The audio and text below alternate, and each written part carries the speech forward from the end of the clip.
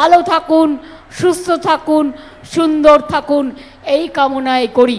মমতা বন্দ্যোপাধ্যায় আলিপুর দুয়ারে বক্তব্য রাখছিলেন এবং আমরা দেখলাম যে একাধিক বিষয়ে বক্তব্য বক্তব্য রাখতে গিয়ে মমতা বন্দ্যোপাধ্যায় বললেন, কেন্দ্রের বিরুদ্ধে একাধিক অভিযোগে তিনি সরব হয়েছেন। আগামী সতেরো তারিখে আপনারা জানেন যে মমতা বন্দ্যোপাধ্যায় দিল্লি যাচ্ছেন, যেখানে রাজ্যের বকেয়া আদায়ের দাবিতে তিনি প্রধানমন্ত্রীর সঙ্গে বৈঠকের সময় চেয়েছেন এবং আজকে আলিপুরদুয়ারের এই মঞ্চ থেকে তিনি বললেন যে, হয় টাকা দাও, নয় গদি ছাড়ো।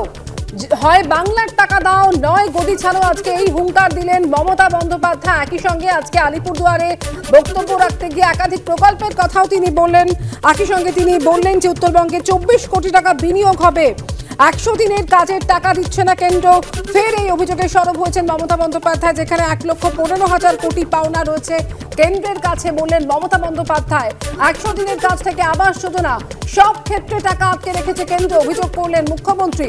একশো দিনের টাকা আপনাকে দিতেই হবে। আমি দিল্লি যাচ্ছি। প্রধানমন্ত্রীর কাছে সাক্ষাতের সময় চেয়েছি। হয় বাংলার টাকা দাও, নয় গদি ছাড়ো। এমনই হুঙ্কার দিলেন মমতা বন্দ্যোপাধ্যায়। আলিপুরদুয়ারে মুখ্যমন্ত্রী মমতা বন্দ্যোপাধ্যায় তিনি বক্তব্য রাখছিলেন, ফের কেন্দ্রের বঞ্চনার অভিযোগে সরব হয়েছেন এই সভা থেকে মুখ্যমন্ত্রী।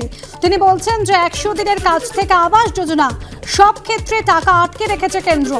একশো দিনের টাকা আপনাকে দিতেই হবে, আমি দিল্লি যাচ্ছি। প্রসঙ্গত আগামী আঠেরো তারিখ মুখ্যমন্ত্রী মমতা বন্দ্যোপাধ্যায় তিনি দিল্লি যাচ্ছেন এবং সেখানে গিয়ে তিনি প্রধানমন্ত্রীর সঙ্গে দেখা করার কথাও রয়েছে। মুখ্যমন্ত্রী আজ এই সভা থেকেও বললেন যে, প্রধানমন্ত্রী নরেন্দ্র মোদীর কাছে সাক্ষাতের সময় চেয়েছি হয় বাংলা টাকা দাও, নয় গদি ছাড়ো। আজ হুঁশিয়ারি দিলেন মুখ্যমন্ত্রী মমতা বন্দ্যোপাধ্যায়। এছাড়াও উত্তরবঙ্গের জন্য একাধিক প্রকল্পের কথাও বলেছেন। উত্তরবঙ্গে চব্বিশ হাজার কোটি টাকা বিনিয়োগ হবে। এই মঞ্চে দাঁড়িয়ে বলেছেন মুখ্যমন্ত্রী। পাহাড়ে আইটি হাব হবে, অনেক কর্মসংস্থান হবে। ভুয়ো শংসাপত্র বাতিল করবে সরকার। সব চা শ্রমিককে পাট্টা বাড়ি তৈরির জন্য এক লক্ষ কুড়ি হাজার টাকা দেওয়া হবে আলিপুর দুয়ারের এই অনুষ্ঠান থেকে, ঘোষণা করেছেন মুখ্যমন্ত্রী। একই সঙ্গে ফের কেন্দ্রের বঞ্চনার অভিযোগে সরব হয়েছেন মুখ্যমন্ত্রী মমতা বন্দ্যোপাধ্যায়। একশো দিনের কাজ থেকে আবাস যোজনার সব ক্ষেত্রে টাকা আটকে রেখেছে কেন্দ্র, অভিযোগ করেছেন মুখ্যমন্ত্রী।